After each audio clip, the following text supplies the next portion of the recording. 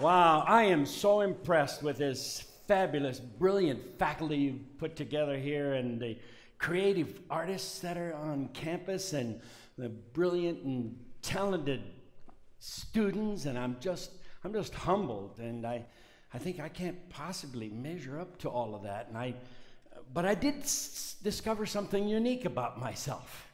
As a matter of fact, I've accomplished something that nobody else in here has. I'm an octogenarian. I'm over 80 years old. I've lived longer than anybody in this campus.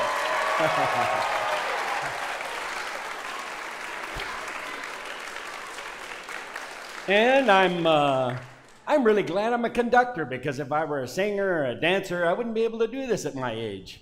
Uh, I was born the middle child of 13 children. I was born in the middle of the Depression, in the middle of Nebraska, which is in the middle of the United States, on a farm in the middle of nowhere.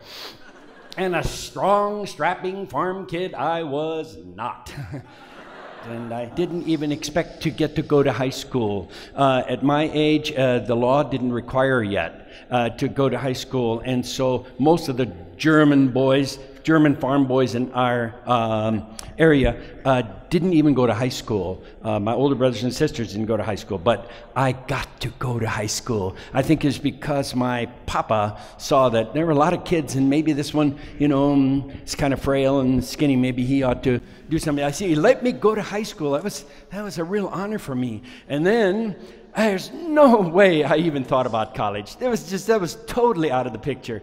And so uh, after high school graduation, we checked to see what the draft, and it looked like I was going to be drafted in December. So okay, um, I'll s- uh, stay home and harvest corn, and then I'll go to the army. And uh, this uh, local choral director at UNK, Bill Lynn, came to my town and he wanted me to play my tuba, and so I played the tuba, and he wanted me to sing a solo, so I sang the solo, and then he went out to, he said, I want to see your farm, and I, well, who would want to do that? Uh, okay. We didn't have anything else to do. We drove out there, went in the yard. My dad came out. He had a great personality. My dad had a great personality. They sat in the front seat, and they were joking around. He was asking me all kinds of things about the farm. Got my dad all involved, and then all of a sudden, out of the clear blue eye, he said, Mr. Ehly, I'd like him to go to our school.